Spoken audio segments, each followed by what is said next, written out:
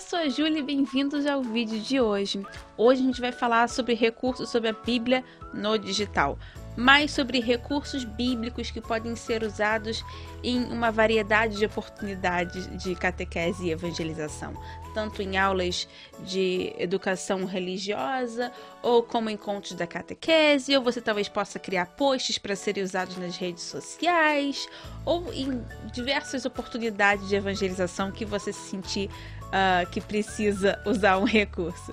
O site que eu vou falar sobre hoje é um site fantástico, é o freebibleimages.org, que é um site onde você vai achar os recursos que a gente vai explorar um pouquinho hoje. Uh, aqui em cima do, no, no site você já vai achar livro, tema, personagem e o contribuidor, né? A pessoa que fez o recurso. Se a gente for ver em livros, você quer, por exemplo, a história uma história em Gênesis, ou Samuel, Esther, enfim. Você pode clicar aqui e ver os recursos que vai ter de acordo com esse livro. Né? Uh, são, por exemplo, você vai ter Caim e Abel, são 12 imagens, uh, Noé, né? E aí você pode explorar um pouquinho todos os recursos que tem.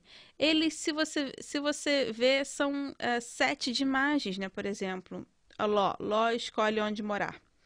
Se você clicar aqui, você vai ver que são seis imagens sobre essa história e você pode descarregar um pouquinho aqui. Daqui a pouco a gente vai falar sobre como descarregar. Eu quero que a gente explore um pouquinho mais a possibilidade um,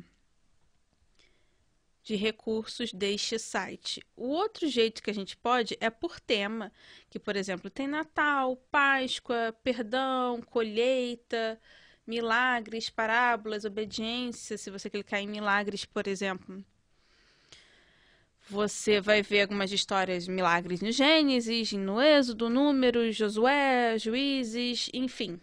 Vai ver várias histórias, você pode explorar um pouquinho. Jonas, eu adoro a história de Jonas, é sempre tão interessante de ver com as crianças, né?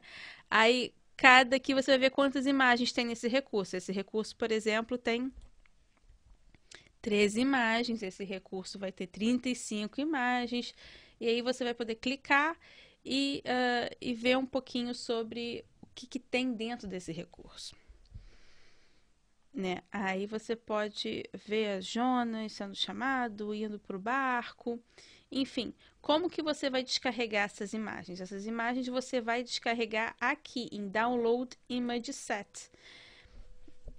Ele vai te dar algumas opções para você descarregar. Ou ela vai te dar a opção em PowerPoint, ou PDF, ou Apple Keynote, que é, é um, é um PowerPoint da, do, de quem tem Macintosh, né? Quem tem Mac ou imagens soltas em JPEG.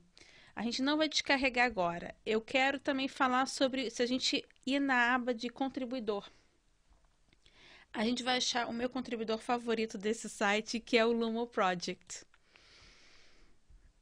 O Lumo Project é um, é um projeto que foi feito uh, de gravar os quatro evangelhos. Se você botar Lumo Project no YouTube você vai achar esses recursos em vídeo. Não vamos falar deles hoje. A gente vai falar dos recursos que eles fizeram para imagens, para a gente usar uh, numa aula de catequese, por exemplo. Uh, tem um mosquinho aqui. Uh, aqui a gente vai ver os evangelhos, Atos e uma, uma visão geral da Bíblia, né? Vamos ver os evangelhos porque é onde que eles têm mais material. Uh, por exemplo, tem várias histórias aqui Jesus é transfigurado, Jesus uh, cura um homem mudo, Jesus cura um homem cego de nascença. E aí a gente vai ver que tem ó, 16 imagens, uh, 19 imagens, cada um tem as suas imagens. Eu vou procurar. Ah, aqui, ó. Eu vou ver a parábola da ovelha perdida, uma das parábolas favoritas que fala sobre a ovelha perdida. Vamos ver como que é esse recurso. Tem as imagens aqui, né? que conta a história né, do pastor e da procurando a ovelha perdida, que deixou as 99. E a gente agora vai aprender a descarregar elas. Vamos aqui clicar em Download Image Set. E eu Eu vou optar por uh, descarregar em PowerPoint, porque na verdade uh, vai ser bem interessante descarregar em PowerPoint. Existem duas proporções, a proporção 4 por 3, que é aqueles quando antigamente nossos ecrãs não eram widescreen, eram ecrãs um pouquinho mais quadrados, não eram totalmente quadrados, né? Não era 4 por 4, era 4 por 3, eram retângulos quase quadrados. Hoje em dia nossos ecrãs são 16 por 9. Então, eu vou baixar o 16 por 9. Ele demora um pouquinho para descarregar e ele já vai descarregar no meu computador. Deixa eu ver se eu abro aqui. Pronto. Abrimos a, o, o conteúdo já descarregado em PowerPoint. Ele já vai baixar sim para você o que são o que é muito interessante uh, já em PowerPoint. Você vai ver. Tem a imagem aqui. Deixa eu ativar minha edição. Uh, vai ter as imagens que você até pode redimensionar elas, né? E usar elas como você quiser. Ui. Deixa eu voltar ela. E vai ter a história exatamente como é que ela tá, uma imagem por PowerPoint.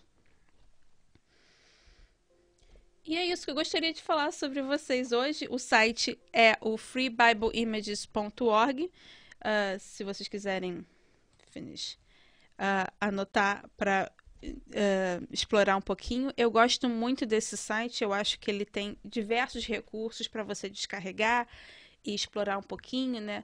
você vai ver em livros, todos os livros que tem disponíveis. Não tem todos, mas tem bastante. É, temas também não tem, eu acho que eles não separaram muito bem temas, mas, de novo, se você está procurando um recurso para Novo Testamento, né, um recurso, Novo Testamento não, um recurso para os evangelhos, eu aconselho muito o Lumo Project, eu gosto muito da qualidade desse recurso, são imagens muito bem feitas, que especialmente as, as audiências mais jovens, né, as crianças, uh, vão conseguir se identificar mais, ver que aquela história da Bíblia é real, realmente aconteceu com pessoas e não às vezes só um, uma fantasia, né? As pessoas às vezes têm a, a, a impressão que a Bíblia não é real, sabe? Aquilo é só um conto de fadas. Então, hoje foi só isso. Eu gostaria de mostrar rapidinho para vocês, sem perder muito tempo. Eu convido a vocês a acessarem esse site, o Free Bible. Deixa eu botar na tela de novo. Uh, o freebibleimages.org para vocês poderem explorar um pouquinho e verem todos os recursos e todas as histórias que tem um, disponíveis. Uh, vocês podem baixar de novo ou em PowerPoint ou imagens soltas ou até em PDF. Eu gosto muito do PowerPoint, pois depois vocês conseguem montar uma, algum recurso ali, uma aula, né, adicionar elementos no teu PowerPoint, adicionar uma caixa de texto e que podemos falar sobre isso no futuro.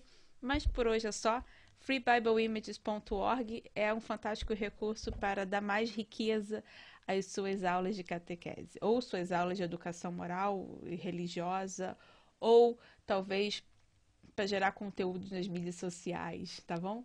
Muito obrigado, até a próxima. Tchau, tchau.